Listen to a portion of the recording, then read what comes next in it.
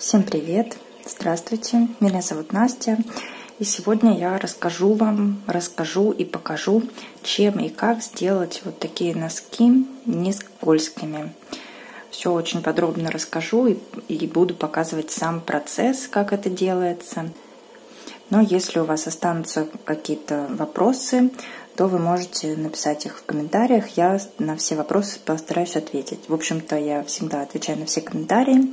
И сейчас давайте посмотрим, как это делается. Носки у меня обычные, связаны просто лицевой гладью, но это, в общем-то, не имеет никакого значения. Единственное, что я хотела бы отметить, что в первый раз стоит, э, наверное, делать именно, как я показываю, э, просто точечки, а потом уже, когда набьете руку, приноровитесь, уже можно будет делать какие-то линии, полосочки. На покупных носках часто рисуют лапки животных. В общем, можно любой узор. Сердечки, звездочки, ромбики, что там еще бывает, все что угодно. В общем, вот сейчас вы увидите, как и чем я это делала. Смотрите внимательно. Итак, давайте приступим. Вот у меня готовы носочки. И вот это молочко силиконовое. Значит, я так понимаю, они есть разные. Я, наверное, прикреплю фотографии тех, что мне попадались. Я покупала на Вайлберисе конкретно вот этот вот сок 100. Это производство Германия. Ссылку, наверное, я тоже могу оставить на Вайлберис. В общем, что я делаю?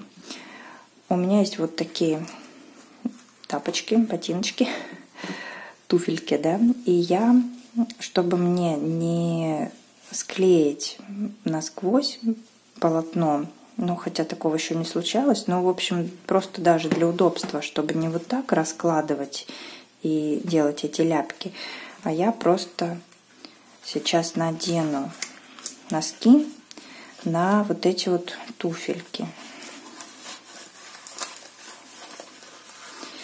И так, мне кажется, будет даже удобнее не только делать эти штучки, капельки, но и сушить. Сейчас я одену второй. Так, вот я надела носочки на туфельки, разровняла тут все по подошве. Получилось два таких сапожка. И на них мы будем сейчас наносить вот эту вот латексное молочко. Значит, э, оно подсыхает. Вот всегда я закрываю крышечку, но всегда оно подсохшее, поэтому я снимаю вот эту вот сам этот носик и просто зубочисткой сейчас давайте возьму зубочистку так в общем, там засыхает вот этот вот состав, и просто нужно вынуть вот это вот э, то, что там застряло. Вот такая вот там получается, как резиновая пробка, ее нужно вынуть. Так, удобнее отсюда подцепить. Сейчас я уберу это. Так, вот я все сделала. Все это нужно делать быстро, как вы понимаете. Но, в принципе, я вот испачкала руку и просто скатала этот силикон, и никаких следов не осталось. В общем, теперь носик у нас чистый. И я просто беру и в хаотичном порядке наношу такие капельки. И еще, если поднимать флакончик, то туда попадает воздух, и эти капельки получаются как пузырьки. В принципе, в этом нет ничего страшного, но вот лучше так беспрерывно капать, и тогда они просто не пузырьками, а такими вот шариками, скажем так, делаются.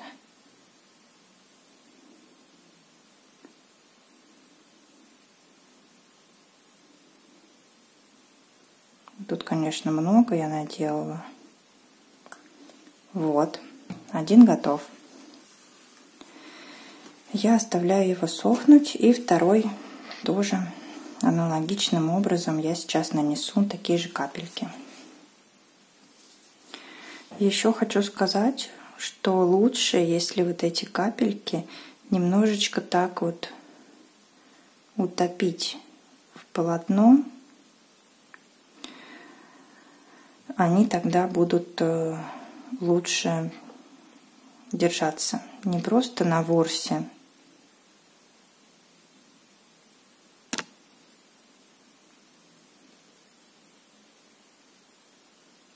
а будут вот мне попался какой-то комочек там. Так вот второй носочек у меня получился менее аккуратный это все не критично главное что мы своей цели добились и теперь главное плотно закрыть и оставить ну на ночь здесь было написано что высыхает за 10-12 часов. Вот, в общем-то, на утро уже можно будет пользоваться этими носочками. Итак, у вас прошел один миг, а у меня прошли сутки. И вот что у нас получилось.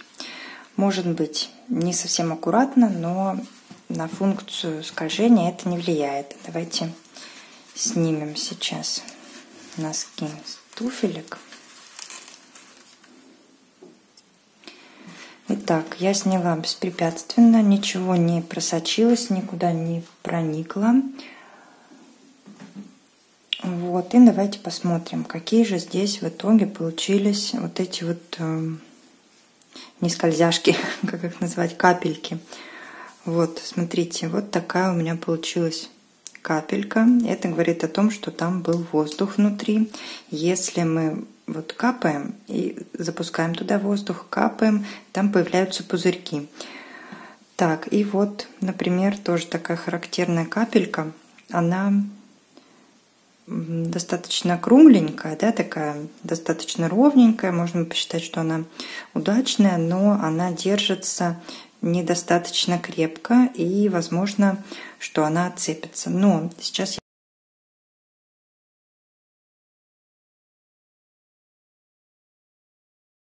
Спасибо большое вам за внимание. Пользуйтесь, покупайте такие штучки, такой силикон, и не будете скользить. Это очень актуально для детей, мне кажется, и для взрослых тоже вполне себе актуально. Вот, спасибо за просмотр. Если вам было полезно это видео, поставьте, пожалуйста, лайк, не жадничайте. И на этом все. Увидимся в следующих видео.